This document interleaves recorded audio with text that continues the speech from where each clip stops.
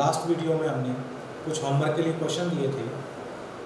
बहुत से बच्चों ने इस क्वेश्चंस के रिप्लाई सही दिए। उनमें से कुछ बच्चों के नाम हैं करिश्मा वर्षा श्रेया, ध्रुव और शैलेंद्र ऐसे बच्चों में आपको क्वेश्चन देता रहूँगा और आपका नाम वीडियो में बताता रहूँगा। बच्चों, आज हम पढ़ेंगे इलेक्ट्रोस्टैट का सबसे important topic Coulomb law in electrostat तो देखिए बच्चों।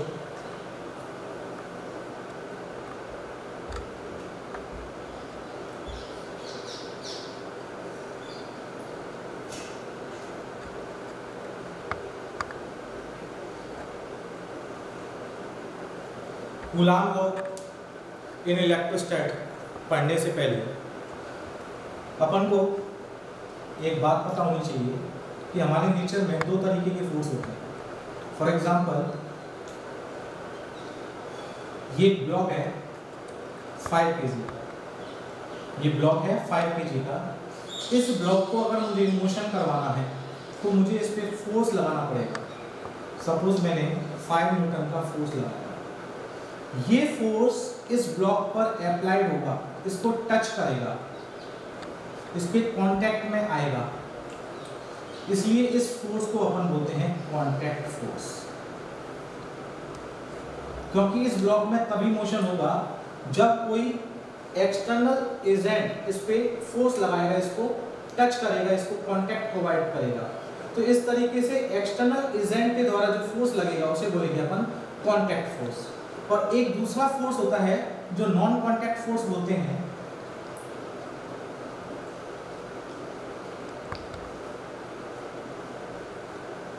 नॉन कांटेक्ट फोर्स में क्या होगा? फॉर एग्जांपल आपने इलेवेंथ क्लास में ग्रेविटेशनल फोर्स पढ़ा होगा। ग्रेविटेशनल फोर्स में आपने पढ़ा कि एक बॉडी है जिसका मास m1 है और एक बॉडी है जिसका मास m2 इन दोनों के सेंटर्स के बीच का जो डिस्टेंस है, वो स्मॉल आर है। यहाँ दोनों बॉडी एक दूसरे के कांटेक्ट में नहीं है, लेकिन ये बॉडी अपने अराउंड एक फ़ील्ड प्रोड्यूस करती है।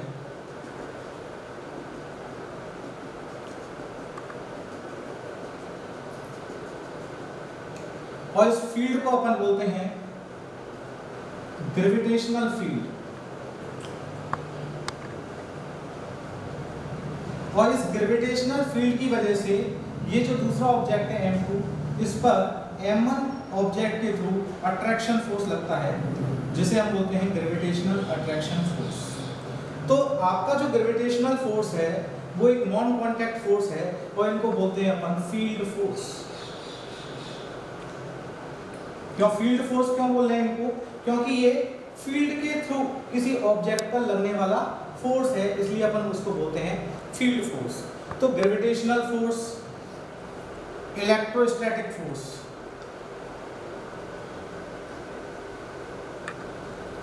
electrostatic force भी एक फ़ील्ड फोर्स है। कैसे है ये फ़ील्ड फोर्स? देखिए। Electrostatic force is a field force. कैसे है? देखिए, सपोज़ ये चार्ज ये चार्ज ऑब्जेक्ट है Q1 और ये दूसरा चार्ज है Q2 इन दोनों के बीच में डिस्टेंस है स्मॉल r अब देखिए, ये जो चार्ज है Q1 वो अपने अराउंड एक फ़ील्ड क्रिएट करेगा।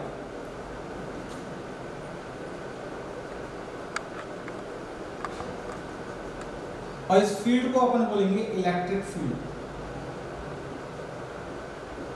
हिंदी में बोलते हैं इसे विद्युत क्षेत्र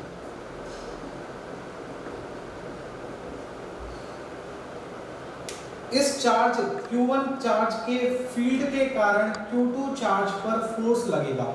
उस फोर्स को बोलेंगे अपन इलेक्ट्रोस्टैटिक फोर्स तो जो आपका इलेक्ट्रोस्टैटिक फोर्स है, वो भी एक फ़ील्ड के थ्रू लग रहा है, जो कि एक नॉन कांटेक्ट फोर्स है। इसलिए आपका इलेक्ट्रोस्टैटिक फोर्स फ़ील्ड के थ्रू लगता है, इसलिए ये नॉन कांटेक्ट फोर्स है। अब बच्चों कूलाम लॉ ऑफ़ इलेक्ट्रोस्टैट को स्टार्ट करते हैं। कूलाम लॉ ऑफ़ इलेक्ट्रोस्टेट में साइंटिस्ट कूलाम ने एक सिंपल सी बात बोली कि हमारे पास दो स्टेशनरी पॉइंट चार्ज हैं। स्टेशनरी पॉइंट चार्ज का मतलब दो बहुत छोटे चार्ज हैं जो स्टेशनरी हैं। स्टेशनरी मतलब रेस्ट में हैं। और ये एक दूसरे से किसी डिस्टेंस पर सेपरेटेड हैं। मतलब इनके बीच में कुछ ना कुछ डिस्टेंस है। तो कुलाम ने बोला कि इन दोनों चार्ज के बीच में एक इलेक्ट्रोस्टैटिक फोर्स लगेगा। अगर ये दोनों चार्ज का नेचर सेम हुआ तो वो फोर्स रिपल्सन का होगा, और अगर अपोजिट नेचर हुआ तो वो फोर्स होगा अट्रैक्शन और ये जो फोर्स होगा, वो इन दोनों चार्ज के मैग्नीट्यूड के प्रोडक्ट के डायरेक्टली प्रोपोर्शनल होगा, और इन दोनों चार्ज के बीच का जो डिस्टेंस है, उसके स्क्वायर के इनवर्सली प्रोपोर्शनल होगा। ये गुलाम ने अपने स्टेटमेंट में बोला। तो गुलाम लॉ इन इलेक्ट्रोस्टैट में है क्या? According to Coulomb law in electrostat.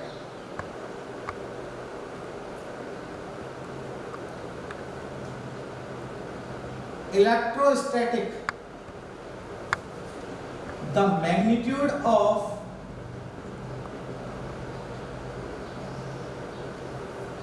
electrostatic force of attraction or repulsion between two stationary point charge.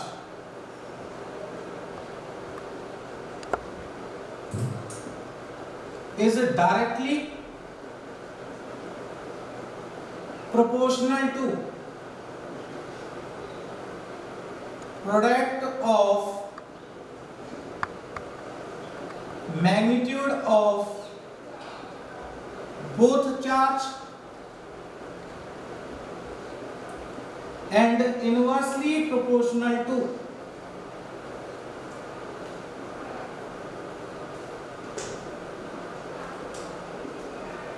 Square of distance between them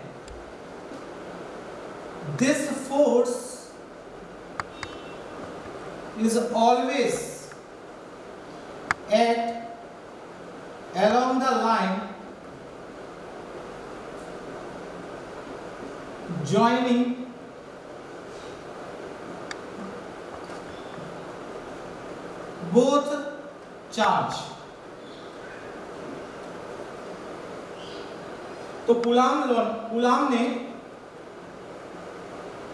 इलेक्ट्रोस्टैट के अंदर एक सिंपल सी बात बोली कि इलेक्ट्रोस्टैटिक फोर्स ऑफ़ अट्रैक्शन और repulsion magnitude of electrostatic force of attraction और repulsion between two stationary point charge is directly proportional to product of magnitude of both charge and inversely proportional to the square of distance between them. And this force is always act along the line, joining both charge. कि दो stationary point charge के बीच में लगने वाला जो electrostatic force है, वो उस फोर्स का जो मैग्नीट्यूड होगा, वो दोनों चार्ज के मैग्नीट्यूड के प्रोडक्ट के डायरेक्टली प्रोपोर्शनल होगा और दोनों चार्ज के बीच में जो डिस्टेंस है, उसके स्क्वायर के इनवर्सली प्रोपोर्शनल होगा। और ये जो फोर्स होगा, वो दोनों चार्ज को जो लाइन ज्वाइन कर रही होगी, उसके ऑलवेज एलोंग लगेगा। बच्चों, अब कुलाम लॉ के स्टेटमेंट को अपन मैथमेटिकली देखते हैं। देखिए सपोज़ अपने पास ये Q1 एक स्टेशनरी पॉइंट चार्ज है, और ये Q2 है, ये दूसरा स्टेशनरी पॉइंट चार्ज है। और इनके बीच में लगने, इनके बीच की जो डिस्टेंस है जो सेपरेशन है, वो स्मॉल आर है। सपोज़ कीजिए कि Q1 और Q2 का जो प्रोडक्ट है, वो ग्रेटर देन ज़ीरो है। इसका मतलब है, दोनों चार्ज का जो नेचर है, वो सेम है। मतलब ये लाइक चार्जेस है। Nature of both charge are same और जब नेचर सेम होगा तो फोर्स कौन सा काम करेगा? अट्रैक्शन का या रिपल्सन का? रिपल्सन और अगर Q1 Q2 less than zero हुआ मतलब Q1 और Q2 का प्रोडक्ट लेस देन ज़ीरो होगा मतलब ज़ीरो से छोटा, कहने का मतलब नेगेटिव होगा। कब होगा जब एक पॉजिटिव होगा और एक नेगेटिव होगा। और यहाँ Q1 Q2 is greater than zero है मतलब Q1 और Q2 का प्रोडक्ट ज़ीरो से बड़ा है मतलब पॉजिटिव होगा। वो कब होगा? जब दोनों प्लस होंगे या दोनों माइनस होंगे। तो Q1 Q2 less than zero मतलब nature of both charge are opposite. तो यहाँ क्या लगेगा? अट्रैक्शन ठीक है? अब देखिए बच्चों, मेरे पास दो चार्ज है Q1 और Q2 ये दोनों एक दूसरे पे फोर्स लगाएँगे। Q1 वाला Q2 पर फोर्स लगाएगा रिपल्सन का किधर? इधर। मान लेते कितना फोर्स लगा रहा है F और Q2 वाला Q1 पे फोर्स लगाएगा, ये कितना हो गया F F यहाँ पे अपन ने जो फोर्स लग रहा है उनका मैग्नीट्यूड लिया। जितना फोर्स Q1 Q2 पे लगाएगा, उतना ही फोर्स Q2 Q1 पे लगाएगा। तो कूलाम के according according to coulomb law F proportional to mod of Q1 और mod of Q2 mod of Q1 mod of Q2 दोनों का क्या कर देंगे प्रोडक्ट दोनों चार्ज के मैग्नीट्यूड के प्रोडक्ट के डायरेक्टली प्रोपोर्शनल होगा force this is equation number one F proportional to one upon r square दोनों चार्ज के बीच की डिस्टेंस है r. डिस्टेंस के स्क्वायर के inversely proportional this is equation number second from equation one and two F proportional F proportional दोनों equation को combine करेंगे। F proportional to mod of Q1 mode of Q2 upon r square अब अपन proportional sign को हटाएँगे। F is equal to constant दे दिया के k mod of q1 mod of q2 upon r square here k क्या है? Constant of proportionality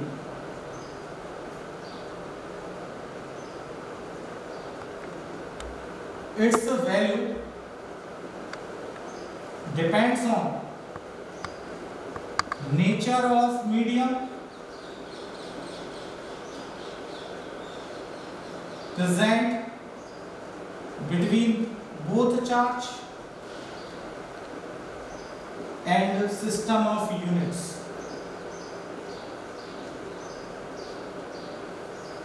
जो के है वो कांस्टेंट है प्रोपोर्शनलिटी कांस्टेंट और इसकी वैल्यू इन दोनों चार्ज के बीच में जो मीडियम होगा, उस पर डिपेंड करेगी, उसके नेचर पे।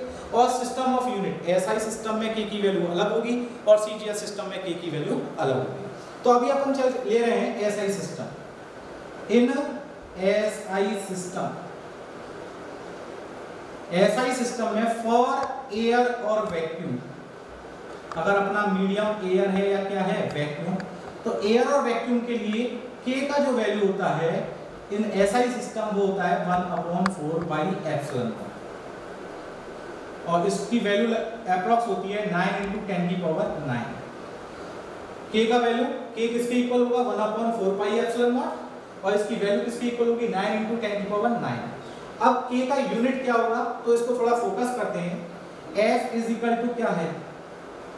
K mod of q1 mod of q2 upon r square यहाँ से k इज़ इक्वल टू क्या आएगा? f r square upon mod of q1 mod of q2 k का यूनिट निकालें तो फोर्स का यूनिट होता है न्यूटन डिस्टेंस का यूनिट होता है मीटर और मीटर का स्क्वायर अपॉन चार्ज का यूनिट कूलाम और इसका भी कूलाम कूलाम इनटू कूलाम क्या होगा? कूलाम स्क्वायर तो जो k का यूनिट होगा, वो होगा newton into metre square upon coulomb square बच्चों, यहाँ हेयर एक टर्म सारी है one upon four pi epsilon naught four pi constant है एप्सिलॉन नॉट क्या है? एप्सिलॉन नॉट है एब्सोल्यूट परमिटिविटी ऑफ़ एयर और वैक्यूम और फ्री स्पेस एप्सिलॉन नॉट क्या है? एब्सोल्यूट परमिटिविटी है। किसकी? एयर की या वैक्यूम की या फ्री स्पेस की? अब बच्चों, दिमाग में क्वेश्चन आता है कि what is absolute permittivity permittivity क्या है? Permittivity is the ability of any medium to pass electric field lines through it permittivity is the ability of any medium to passes electric field lines through it permittivity जो है विद्युशीलता permittivity को हिंदी में बोलते हैं विद्युशीलता विद्युशीलता क्या है? माध्यम की वह गुण जो विद्युत क्षेत्र रेखाओं को अपने अंदर से गुजारने की सामर्थ्य रखता है। जिस माध्यम की विद्युशीलता ज़्यादा होगी, उसमें से विद्युत क्षेत्र रेखाएँ ज़्यादा गुजरेंगी और जिस माध्यम की विद्युशीलता कम होगी, उसमें से विद्युत क्षेत्र रेखाएँ कम गुजरेंगी। तो permittivity is the ability of any medium to passes electric field lines through it अब यहाँ एप्सिलॉन नॉट जो होता है, उसकी वैल्यू होती है 8.85 point eight five into ten की power minus twelve. Epsilon naught की वैल्यू होती है 8.85 point eight five into ten की पावर माइनस ट्वेल्व। और इसका यूनिट क्या होगा? तो देखिए, यूनिट कैसे निकालेंगे इसका? k इज़ इक्वल टू है one upon four pi epsilon naught.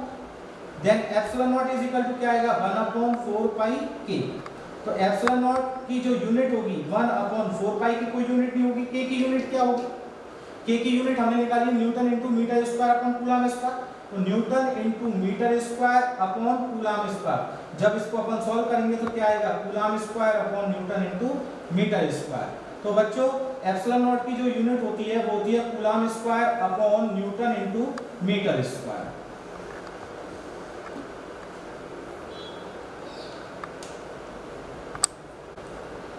बच्चों, ये, इसको अपन इक्वेशन नंबर थर्ड ले लेते हैं। तो बच्चों एसआई सिस्टम के अंदर एयर और वैक्यूम मीडियम के लिए के का जो वैल्यू होगा one upon four pi epsilon naught होता है। और one upon four pi epsilon naught को अपन नाइन इंटू टेन की पावर नाइन लिख सकते हैं। और जो के का यूनिट होगा, वो newton into metre square upon coulomb square होगा। के की वैल्यू सीजीएस सिस्टम में सीजीएस सिस्टम फॉर एयर और वैक्यूम के का जो वैल्यू होता है वो वन होता है. लेकिन अपन जो कूलाम लॉ का जो फोर्स का जो मैग्नीट्यूड देते हैं, वो ऑलवेज एसआई सिस्टम में देते हैं. तो एसआई सिस्टम के अकॉर्डिंग अगर हम चलें तो देखिए ये जो इक्वेशन थर्ड है from equation third F is equal to k का वैल्यू है one upon four pi epsilon naught mod of q one mod of q two का प्रोडक्ट अपॉन आर स्क्वायर ये है आपका magnitude of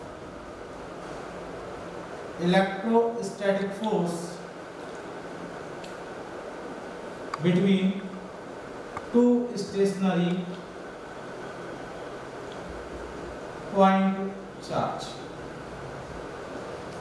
बच्चों, अपन इस फोर्स के फॉर्मूले को एक और तरीके से लिख सकते हैं, F is equal to one upon four pi epsilon naught की जो वैल्यू आती है, वो आती है नाइन इंटू टेन की power nine nine into ten की power nine mod of q one mod of q two upon r square तो ये गुलाम लॉ इन इलेक्ट्रोस्टैट है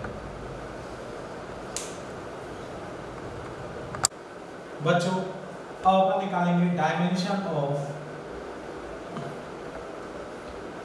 epsilon naught epsilon naught की हमें डायमेंशन निकालनी है। तो अभी हमने इलेक्ट्रोस्टैटिक फोर्स का जो फॉर्मूला देखा, F is equal to one upon four pi epsilon naught mod of q one mod of q two upon r square अगर मैं इस फॉर्मूले की हेल्प से एप्सिलॉन नॉट की वैल्यू निकालूं तो epsilon naught is equal to क्या आएगा? One upon four pi F mod of q one, mod of q two upon r square. तो यहाँ से एप्सिलॉन नॉट की डायमेंशन क्या आएगी बच्चों? देखिए। वन की कोई डायमेंशन नहीं होती, फोर पाई कांस्टेंट है, इसकी भी कोई डायमेंशन नहीं होगी। फोर्स की डायमेंशन होती है M one L one two charge की जो डायमेंशन होती है, वो ए वन टी वन होती है। दूसरा भी चार्ज है, इसकी भी डायमेंशन होगी A one T one. Distance एक लेंथ है, जिसकी डायमेंशन होगी एल वन और इसकी पावर टू है तो टू लग जाएगा। एप्सिलॉन नॉट की डायमेंशन देखें A two T one T one T two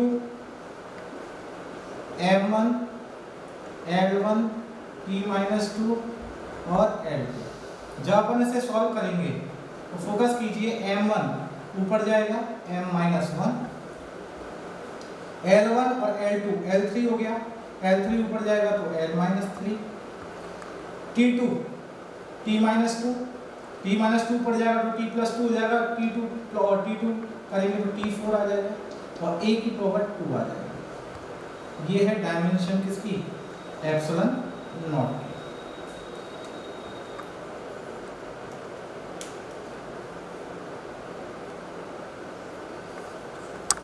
अब बच्चों, अपन डेफिनेशन पढ़ेंगे परमिटिविटी की इलेक्ट्रिकल परमिटिविटी की। तो देखिए definition of electrical permittivity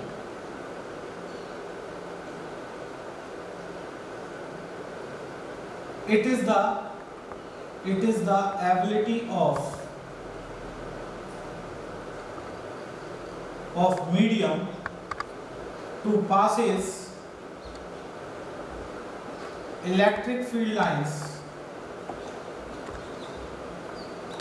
through it.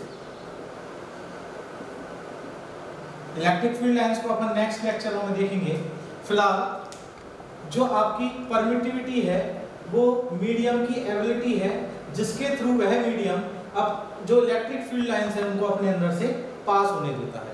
जिस मीडियम की परमिटिविटी ज़्यादा होगी, वो अपने अंदर से ज़्यादा इलेक्ट्रिक फ़ील्ड लाइंस को पास होने देगा और जिस मीडियम की परमिटिविटी कम होगी, वो अपने अंदर से इलेक्ट्रिक फ़ील्ड लाइंस को कम पास होने देगा। बच्चों, अपन अब देखेंगे डेफिनेशन ऑफ़ वन गुलाम एक गुलाम की डेफिनेशन क्या है? तो देखिए डेफिनेशन ऑफ़ वन गुलाम इस डेफिनेशन को समझने के लिए सपोज़ कीजिए, आपके पास दो चार्ज हैं Q1 और Q2 और ये वैक्यूम में रखे हुए हैं, एक दूसरे से वन मीटर डिस्टेंस और इनका चार्ज है वन गुलाम दोनों का नेचर सेम भी हो सकता है और अपोजिट भी हो सकता है। दोनों प्लस हो सकते हैं, दोनों माइनस हो सकते हैं, एक प्लस एक माइनस हो सकता है। ठीक। अगर मैं इन दोनों चार्जेस के बीच में लगने वाला फोर्स देखूँ, F तो F is equal to one upon four F is equal to nine into ten की power nine mod of q one mod of q two upon r square mod of q1 is equal to mod of q2 is equal to 1 coulomb और r is equal to है 1 metre then f is equal to 9 into 10 की power 9 mod of q1 और mod of q2 दोनों की value 1 है r की value भी कितनी है 1 जब इसको सॉल्व करेंगे तो कितना आएगा 9 into 10 की पावर 9 न्यूटन यहाँ से अपन को क्या शो हो रहा है कि अगर वन कुलाम चार्ज है, दोनों स्टेशनरी चार्जों की वैल्यू वन कुलाम है और दोनों एक दूसरे से वैक्यूम में वन मीटर डिस्टेंस पर हैं तो इनके बीच में लगने वाला जो इलेक्ट्रोस्टैटिक फोर्स होगा, जो अट्रैक्शन नेचर का भी हो सकता है और रिपल्सन नेचर का भी हो सकता है, उस फोर्स का वैल्यू होगा 9 इंटू टेन की पावर 9 न्यूटन अब इसको अपन डिफाइन कैसे करें? If two same point charge are placed in a vacuum